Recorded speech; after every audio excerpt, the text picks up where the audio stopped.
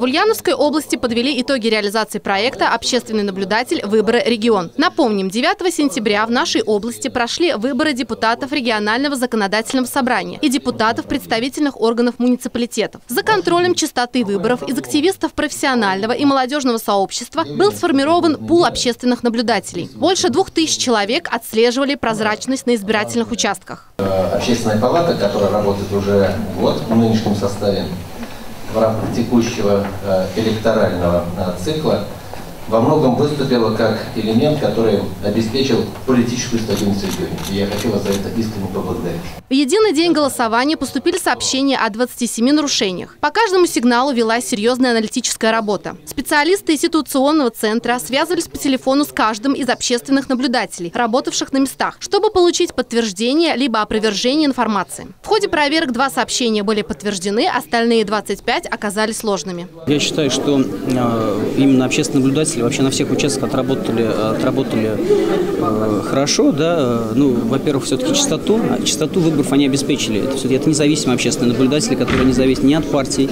ни от, ни от кого. И они замечания распатывали от различных, от различных, от различных партий. Да. Не только итоги выборов стали главной темой мероприятия. О тесном сотрудничестве власти и общества говорили участники заседания. Нам важно выстроить приоритеты. Не всегда власть на местах все-таки слышит, что людям нужно в первую очередь, какие у них потребности, какие у них инфраструктурные проблемы. Все-таки есть еще проблемы у нас выстраивания диалога между властью и обществом. Общественники внесли свои предложения в реализацию проекта «Что не так?», а также поговорили о переформатировании работы Народных дум областного центра и проблемах взаимодействия ТОСов с органами исполнительной власти и местного самоуправления. Наталья Чумаченко, Александр Кудряшов. Новости Ульяновской правды.